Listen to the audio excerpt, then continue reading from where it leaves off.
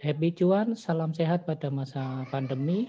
Baik, pada kesempatan kali ini saya akan membuat video tutorial ya tentang permintaan dari beberapa orang subscriber ya yang uh, meminta untuk membuatkan video tutorial bagaimana mentautkan data secara data real time dari ProTrader aplikasi online trading dari Philip Sekuritas.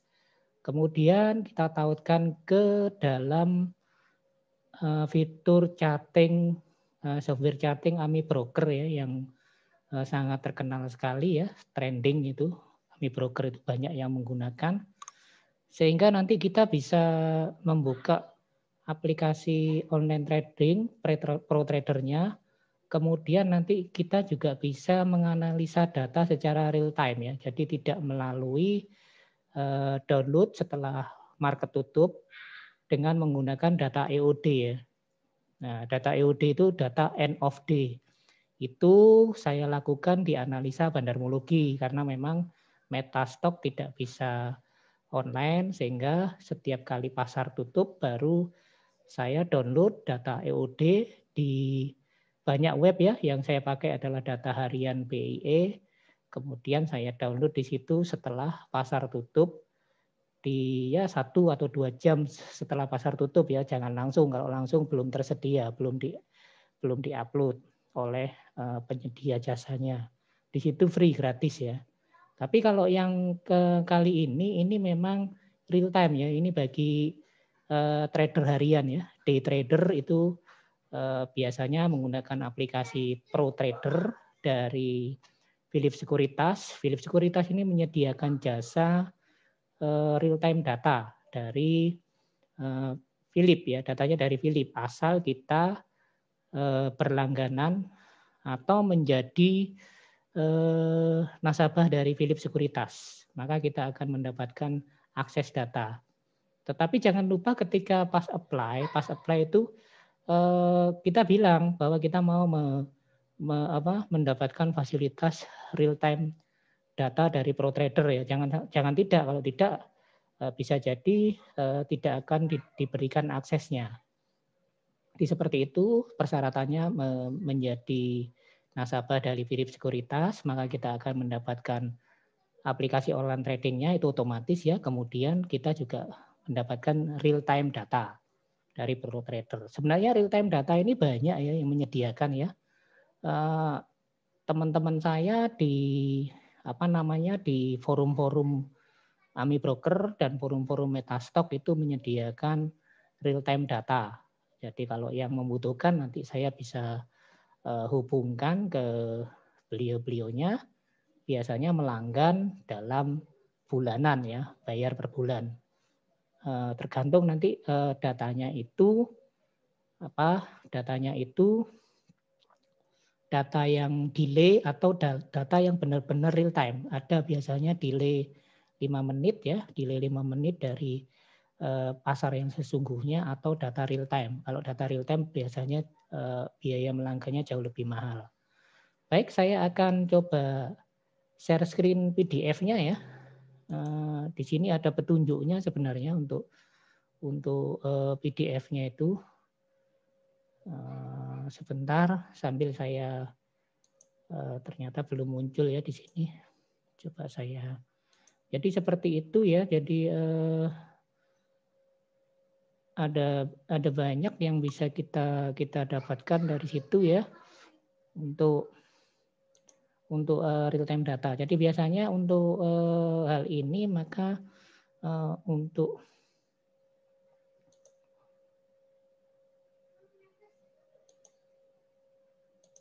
untuk uh, mendapatkan uh, data tersebut, biasanya data real time itu dibutuhkan bagi para jadi para uh, jadi para apa para day trader yang uh, membutuhkan data real time. Jadi biasanya mereka tradingnya memang cepat ya sehari dua hari langsung ditutup, sehari dua hari langsung ditutup itu. Sudah saya contohkan di video-video saya yang sebelumnya. Baik, saya akan coba di sini ya. Oke, saya share screen. Ini adalah Lah ini ya uh, sudah terlihat ya. Jadi caranya seperti ini. Jadi uh, untuk kita bisa membuat uh, chat ya, membuat chat di AMI Broker, maka kita harus punya software AMI Brokernya. Software AMI Brokernya bisa diperoleh secara uh, apa trial ya, trial itu hanya berlaku uh, satu bulan. Kemudian nanti untuk yang berikutnya akan dikenakan juga uh, membeli ya, membeli uh, edisi AMI Broker. AMI Broker ini ada macam-macam ya. AMI Broker yang untuk IHSG, ada AMI Broker yang untuk uh, stok di Amerika, ada yang untuk IHSG, ada juga yang AMI Broker untuk uh, trading forex ya itu ada. Ya, kita pilih yang untuk IHSG. Kemudian saat kita sudah sudah tersedia AMI brokernya ini, Kemudian nanti kita jalankan aplikasi pro tradernya. Aplikasi pro tradernya dibuka ya. Dibuka, kemudian dijalankan. Nah, buka seperti ini, tampilannya seperti ini ya, seperti yang ada di eh, video-video uh, saya sebelumnya. Kemudian uh, setelah dibuka, maka uh, kita klik menu plugin. Ini sudah beberapa kali saya tunjukkan ya, mungkin ada beberapa yang belum jelas, bisa dilihat lagi. Plugin, kemudian kita klik yang AMI brokernya, kemudian kita start di situ ya, start.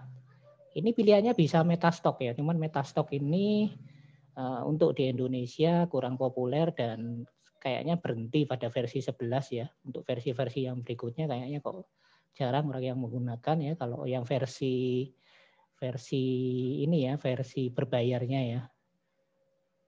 Nah, versi berbayarnya. Kalau versi yang di, sudah di oprek itu sudah uh, banyak, saya menyupai banyak ya. Kemudian kita klik start. Ya, kemudian setelah diklik start, maka akan ditampilkan program MU Brokernya ya, ditampilkan program MU Brokernya. Kemudian ini di, di bagian MU Broker itu kita klik yang file yang bagian uh, kiri kiri atas, kita klik file, kemudian kita uh, klik database. Nah, database di sini kita setting. Ya, ini yang saya jelaskan berkali-kali setting database-nya. Cuman uh, rupanya belum paham juga ya, maka saya akan berikan video tutorialnya di sini. Kemudian setelah itu dari form database, ini uh, awalnya ada local database. Ini defaultnya local database. Ya, data data source itu berisi lokal database, namun karena kita menggunakan, kita mau mentautkan dengan ProTrader plugin, ProTrader data plugin, maka kita ganti dengan ProTrader data plugin. Ini ya, bagian ini kita ganti. Kita ganti dengan ProTrader data plugin.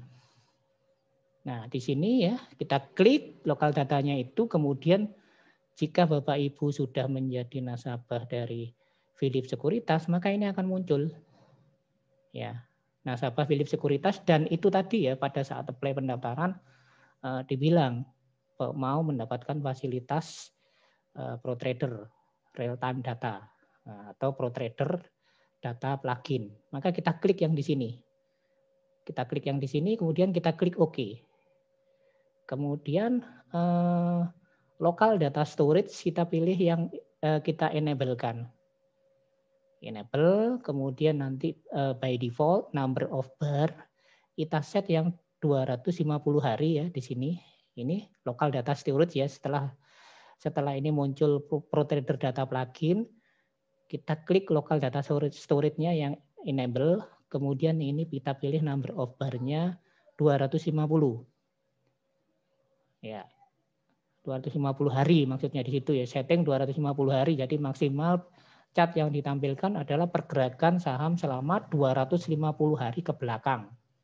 Jadi bisa kita mundurkan ke belakang maksimal 250 hari ya, tidak bisa lebih dari setahun memang karena kan ini real time data ya. Kemudian eh, setelah itu base time interval yang disupport oleh plugin AMI Broker adalah end of day. Ya kita pilih di sini ya. Eh, base time data interval kita pilih yang end of day.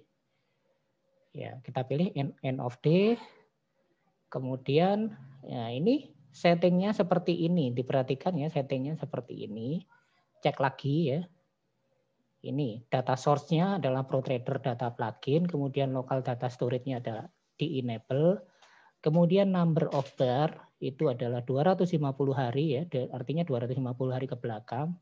Kemudian base time intervalnya dipilih in end of day. Kemudian setelah semuanya itu sesuai, lalu kita klik tombol OK untuk proses setting database-nya. Ya. Kemudian ketika kita mau mengklik emiten, maka kita tambahkan di situ simbol, klik menu simbol ya. Jadi ini yang simbol di AMI brokernya ini ya. Jadi eh, buka AMI brokernya, ketik menu simbol, kemudian kita pilih news. New, kemudian kita masukkan kode sahamnya, misalnya Adaru di situ, kita klik OK.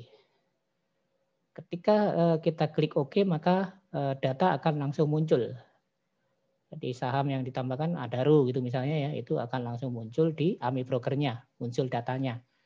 Nah, kemudian ketika Bapak, Ibu atau sobat investor eh, memasang AFL di sini, AFL itu saya sampaikan itu bisa diperoleh di forum-forum grup tele ya, grup tele yang AMI broker ya. Itu bisa didapatkan free, tidak berbayar kalau Bapak Ibu sudah dinilai sebagai member yang eh, memang komit di situ banyak ya para uh, programmer dan uh, trader yang baik hati di situ. Jadi mereka akan share uh, bahasa pemrograman AFL-nya. Beberapa AFL bahkan di-share ya. Tapi juga ada juga AFL yang memang tidak di-share ya. Jadi untuk AFL-AFL yang uh, sulit dan memang uh, complicated, mereka me, me, memprogram itu sulit ya tidak tidak tidak sembarangan. Butuh butuh effort yang lebih ya butuh waktu yang lebih. Sehingga beberapa di antaranya memang e, harus berbayar. Jadi e, usahakan kita punya mental yang mental yang tidak gratisan melulu ya. Ada di e, satu satu hal tertentu di mana itu membuatnya susah butuh effort tersendiri biasanya memang AFL-nya itu tidak gratis ya. Database itu juga seperti itu ya dan sebagainya. Jadi ini salah satu contohnya sehingga langsung tertampil di situ dan kita bisa analisa. Ya, kita bisa analisa di situ ya. Klik Adaro tambahkan maka dia akan muncul. Kemudian ini rumus AFL yang ada di AMI Broker ya. AFL itu adalah formula atau sistem trading yang dijalankan oleh AMI Brokernya. AMI Broker itu hanya eh, software charting ya survei charting. Kemudian AFL itu uh, AMI Broker memberikan kebebasan bagi uh, para programmer yang mengerti bahasa pemrograman untuk memasukkan uh, apa namanya perintah-perintah khusus sehingga AFL tersebut bekerja sesuai dengan perintah yang diinputkan. Jadi untuk belajar seperti ini silakan ikut grup AMI Broker ya. Tentunya harus punya dasar coding ya, dasar pengetahuan coding. Nah, ini salah satu contohnya kode saham lain ya kita eh, tambahkan seperti yang tadi kita ketikkan bumi kemudian eh, langsung eh, diulang lagi ya langkahnya tadi dan langsung muncul untuk saham bumi. Nah, ini yang 13 untuk mengimport seluruh saham yang ada di ProTrader bisa dilakukan setting database, configure lagi seperti yang tadi, kemudian eh, akan ada form konfirmasi untuk klik OK atau cancel. Ya, kita klik OK, maka AMI Broker akan e, menampilkan seluruh dat saham yang ada di ProTrader. Tuh. Jangan jangan lupa ya kalau memang apa e, database-nya dari ProTrader-nya itu ada 466 saham, import semua, ya kita import sehingga kita nanti ketika membuka lagi database tersebut asalkan sahamnya ada di database dari ProTrader akan tertampil. Ya, seperti itu ya. Kemudian eh, juga kita bisa membuat program email broker itu juga bisa membuat default chart ya. Jadi chart yang sudah terdefault. Kita jalankan maka default kalau kita klik di situ ya default chart kode saham, kemudian kita klik file kemudian kita klik news, kemudian kita klik default chart, maka yang tertampil adalah chart yang sudah default ya. Jadi uh, yang sudah kita setting dari awalnya. Uh, seperti itu ya. Jadi Eh, coba saya stop share terlebih dahulu, kemudian saya share yang uh, di pro tradernya ya, biar Bapak Ibu tahu ya. Jadi pro tradernya uh, ini ya, prakteknya ya. Ini harus di stop share dulu. Saya tampilkan yang pro tradernya terlebih dahulu. Oh, ini harus di close dulu ya berarti tidak bisa. Baik, eh, ada kendal ini yang sudah tertampil tadi ya ini. Oke. Ini PDF-nya ya yang sudah penjelasan yang tadi. Kemudian nanti kita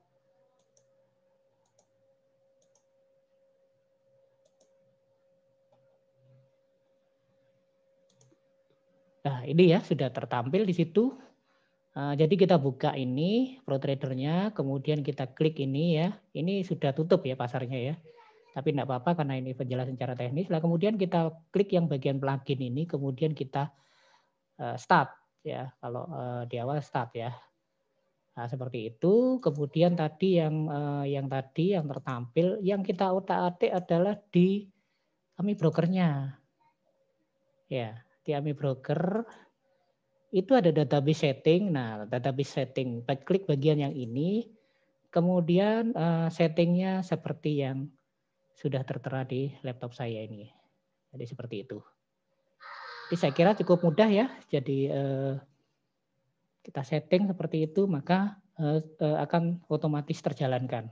Persyaratannya itu tadi ya, jangan lupa bahwa harus menjadi nasabah dari Philip Sekuritas, kemudian juga pada saat awal mendaftar bilang eh, pengen fasilitas real time database dari ProTrader.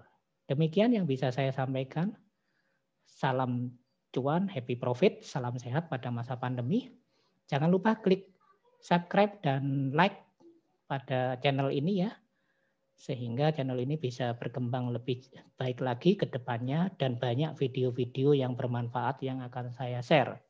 Jangan lupa juga uh, uh, klik share ya dan klik tanda lonceng uh, jika video ini merasa bermanfaat untuk teman-teman Anda yang lain.